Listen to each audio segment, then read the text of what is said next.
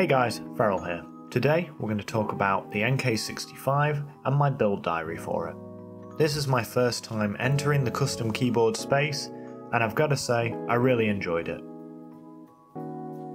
So, I went with an NK65 entry edition, which includes the silicone dampener, and I went for the fire colorway. As you can see, it comes with quite a nice case, and I can confirm this is really quite a sturdy case.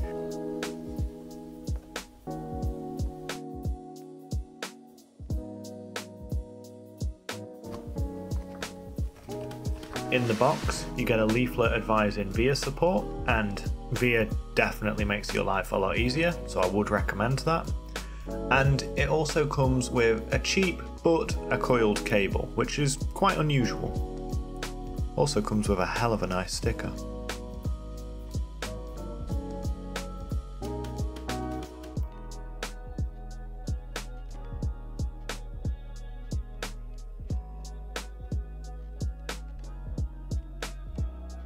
As you can see, the case is slightly recessed, so the board sits in there quite firmly.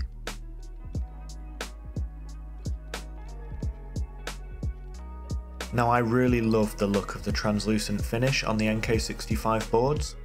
It gives me that retro aesthetic of like the old video game consoles when they used to do like the Xbox Crystal Edition and you know, Game Boy when they did their translucent finishes, that kind of thing.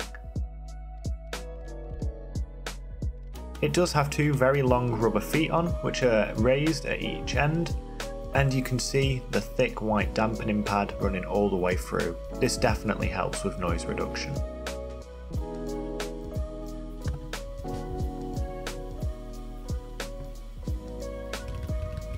Right, we need some switches. I went for the tangerines, these are a linear switch and I absolutely love them. The colour combination was just look. A quick sound test.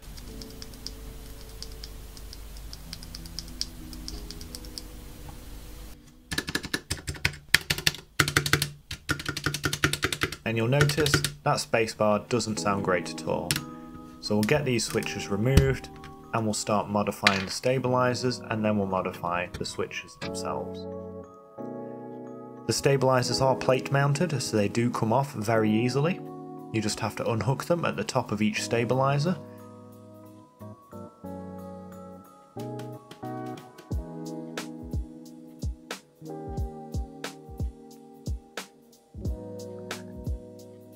I will pre-warn anyone getting into this hobby, every part of this is time consuming.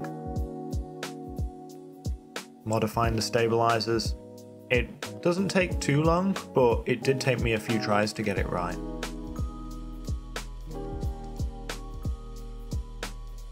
Okay, once all the stabilizers are removed, we're going to separate the parts like this.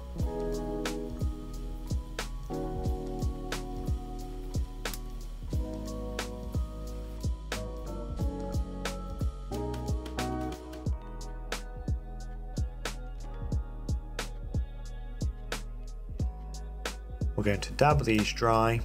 They do have some factory lube on, which is a nice touch, but it's just not good enough.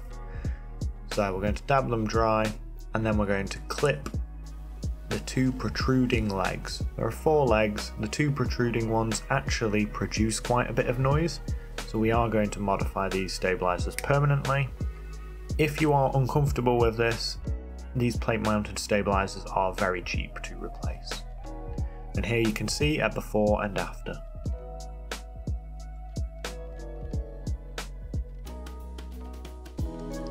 For lubricant, we're going to use Krytox 205 and we're going to do the inside of the outer stabilizer housing and then we're going to do the outside of the internal housing.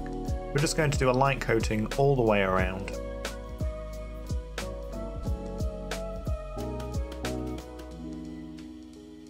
We're then going to do the stabilizer bar, which you want a nice thick coating going around the corners and where the actual pin connects like this. And again, we're going to repeat that on every stabilizer, and then we're going to do a band-aid mod where the stabilizer meets the plate. These ended up being a little bit too thick, so I actually ended up using a more traditional plaster. And this really helps deaden that sound a little bit more and add a little bit of a low end sound to the stabilizer keys. Switch time. This is very time consuming, set aside an afternoon if you've not done it before, but we are going to separate each switch into their individual components. We're then going to use the same lube to do the two parts either side where the switch slides. We're then going to do the base of it. Then we're going to lubricate the spring, top and bottom, in and out. Like I say, this is a very time consuming process. It took me a good few hours. We're then going to lubricate the stem. Now as these are a linear switch, I don't mind, I do lubricate the legs. However, if these were tactile switches, then I would not lubricate the legs. We will also lubricate inside the stem. Prior to reassembly, A, make sure it's the right way. B, if you can, get some switch films. These really, again, they're not a necessary detail, but the difference before and after, it's definitely worth getting these for how cheap they are. They do add an extra layer to the sound.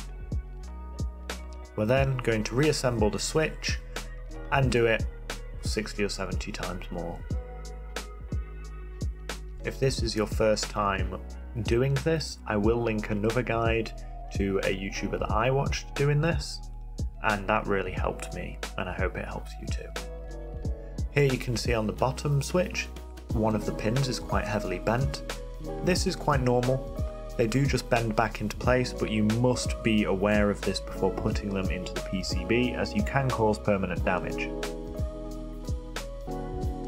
We're now going to put all the switches back into the board, carefully checking each of the pins as we go to make sure there's none that are bent, and if they are, we'll modify them. After this, it is just a case of putting the keycaps on. So, I hope you've enjoyed this video, I hope it's helped, a like goes a long way, and if you want to see this keyboard in action, my video before this is a B-roll and typing test, so feel free to jump on and check that out. Okay, thanks for joining me, have a great day, peace!